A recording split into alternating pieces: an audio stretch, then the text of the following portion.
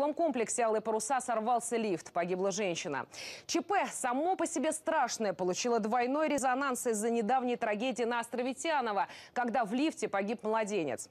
В обоих случаях жильцы давно жаловались на неисправность подъемников. Но если на острове Тианово все более или менее понятно, старый дом, давно изношенный лифт, другое дело «Алые паруса». Можно сказать, новостройка, которая к тому же относит к элитному жилью.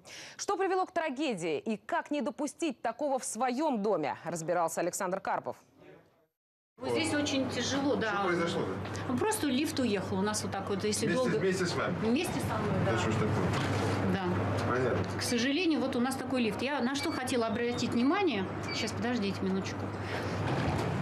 Элитный жилой комплекс Воробьевы горы. Чтобы добраться до пентхаусов на 38 этаже, жильцам ежедневно приходится вступать в неравную схватку со скоростными лифтами. Например, для того, чтобы закрылась дверь, в лифте надо искать место.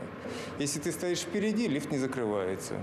Если ты отходишь к сзади, в задней стороне лифта, лифт закроется. В кабине лифта едут, стараясь не делать резких движений. Застройщик Донстрой, тот же, что и у элитного комплекса «Алые паруса», где 14 января при обрушении лифта погибла 36-летняя Ирина Володина. И управляющая компания та же самая – Донстрой Эксплуатация. С этой компанией судятся все. А, Налоговые судятся, жители судятся. Представляете себе, что вы все время платите за отопление летом. Когда я узнала, что там обрушился лифт, это было для меня было неудивительно. Потому что возможно, что и у нас это тоже может произойти. Накануне стали известны новые подробности трагедии. Лифт перекосило между шестым и седьмым этажами одного из корпусов алых парусов. Затем оборвался трос. Противовесы общей массой под полтонны падали, разбивая кабину. Очевидцы до сих пор в шоке.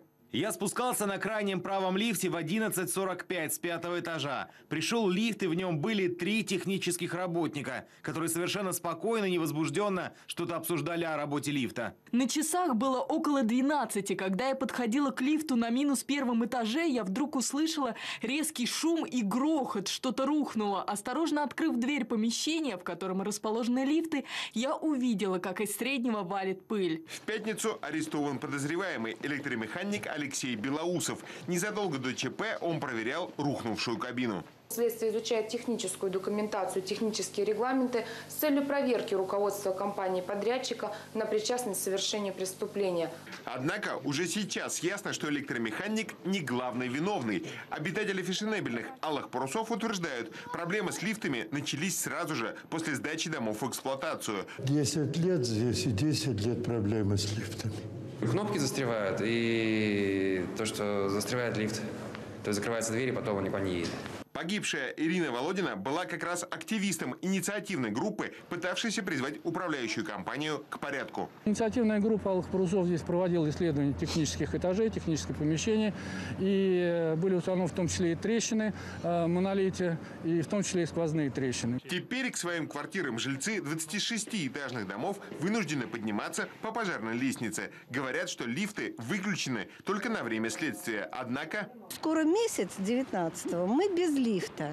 И перспектива на- у нас совершенно нерадужная, потому что нам говорят, что никто нам лифт менять не будет. Они эксплуатируются 43 года. Улица Островитянова, дом 49. Именно здесь 19 декабря прошлого года на глазах у матери погибла 10-месячная девочка. Кабина лифта внезапно пришла в движение, зажав и протащив между этажами коляску с ребенком. Спасатели пять часов уговаривали несчастную женщину выйти из подъезда. Я вышла на лесенку, она лежит, прислушивалась с мужем.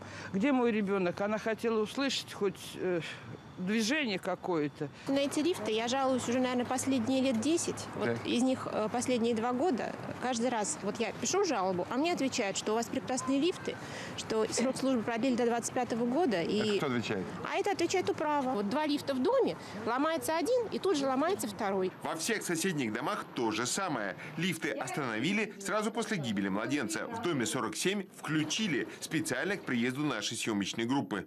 Он открывает двери, значит, перекрестишься, думаешь, дай бог, чтобы доехать нормально. Вот он пришел. Полдня он не работал, этот лифт. полдня. Вот сейчас вот он заработал, я не знаю, сейчас механик спустится. Однако, попытавшись хоть куда-то доехать, терпим фиаско. И куда мы поехали? Я на первый нажал, куда он, куда он там поехал? Это мы... Какой этаж? Это третий. Ой, шестой, я говорю, третий. Шестой этаж? Немедленно после этого, прямо на наших глазах, подъемник ломается окончательно. Итак, сколько раз в день? Один раз только спускаюсь и, и, и поднимаюсь. Больше не могу. У жильцов квартала просто нет выбора. Ежедневный принудительно-оздоровительный бег по вертикали. Муниципальные власти хранят молчание. Александр Карпов, Евгения Стрыгина, Ольга Соловьева, Илья Косторнов. Неделя.